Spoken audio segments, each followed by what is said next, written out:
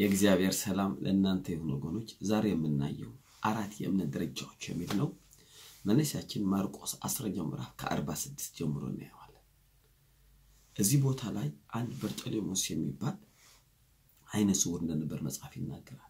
ኢያሪኮ በሚባል ከተማ ኢያሪኮ ከኢየሩሳሌም አንድ መቶ ሀያ አምስት ኪሎ ሜትር ርቃ የምትገኝ ሶስት ጊዜ ፈርሳለች።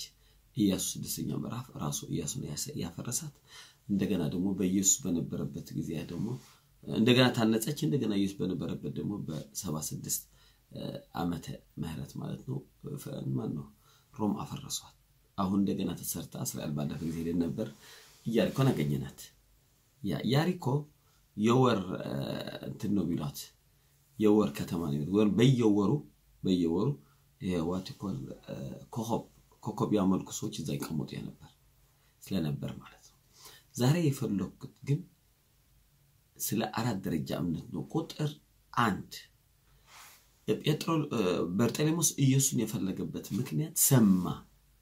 ምክንያቱ አይነ ስውር ነበርና አይኑ አያይም፣ ጆሮ ግን ይሰማል። ጠየቀ። ማን እያለፍ እንዴት ነው ስሉት ኢየሱስ የሚባል ይፈውሳል፣ ያድናል፣ ያጽናናል።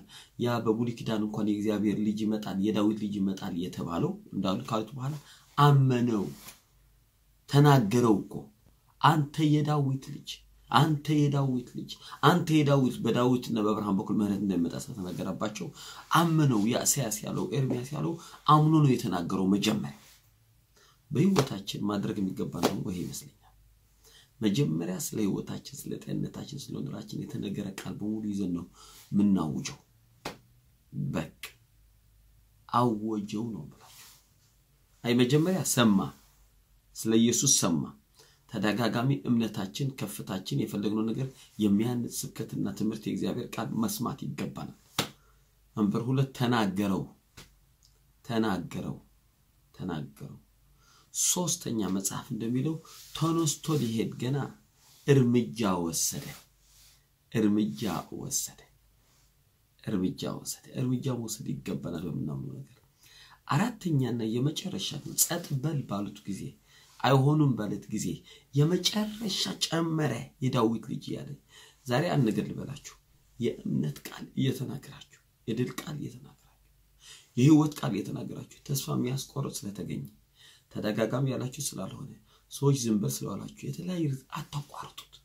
ዕብራውያን አስረኛ ምዕራፍ 23 እንቀጥል ነው መታመናችን እንቀጥል ነው የተባለው። አታቋርጡ። የእምነት ቃል ተናገሩ። አንድ የምስራች ያለኝ መጽሐፍ ሲናገር የሚያቀባጠር አንደበት ለጊዜው ነው፣ የጻድቅ ሰው ልሳን ግን ለዘላለም ይቆማል ነው የሚለው። አቀባጣሪው አንደበት የሰይጣንና የሰዎች ነገር ይቆማል፣ እግዚአብሔር ያላችሁ ነገር ይፈጸማል። ማስታወቂያ ከኬብሮን ዓለም አቀፍ ሐዋርያዊ አገልግሎት ከ January 1 2022 ጀምሮ አስፈላጊ የሆኑ አርዕስቶችና አማኞች ያሉባቸውን ጥያቄዎች ለመመለስ እንዲሁም መልእክቶቻቸው የዩቱብ ገጻቸው ላይ እንደሚሰራጭ እናስታውቃለን። የዚህም በረከት ተካፋዮች እንድትሆኑ ዩቱብ ገጻቸው Apostle ህነሽም ኢትዮጵያ በማለት like፣ subscribe በማድረግ እንዲሁም የሚተላለፉ መልእክት በየጊዜው እንዲደርሱ ደውሉን ይጫኑ። በተጨማሪም በአማርኛ ቋንቋ የምናስተላልፈውን የዩቱብ ቪዲዮዎችን ለማግኘት አማርኛ የሚለውን ምልክት ይጫኑ። እናንተ ተባርካችኋል።